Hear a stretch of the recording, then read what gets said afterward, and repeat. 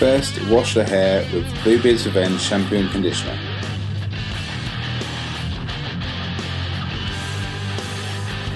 While the hair is still wet, use the Bluebeard's Revenge matte paste as a pre-styling agent.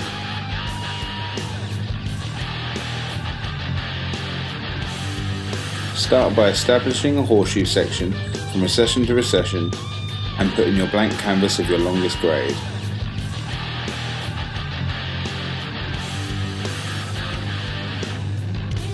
With a slight drop fade on the side, establish your guide with your shortest grade, dropping down past the occipital bone at the back of the head.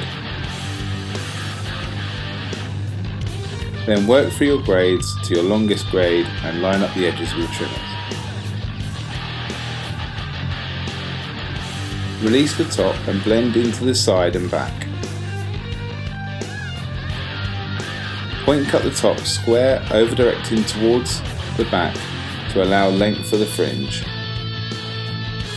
Cut the fringe freehand when wet. Use picking to blend any heavy weight in the fade. And finish the neck with the foilers. Apply a small amount of the Bluebeard's Revenge matte paste and dry it forward with the Bluebeard's Revenge quiff roller. Personalise using the detailers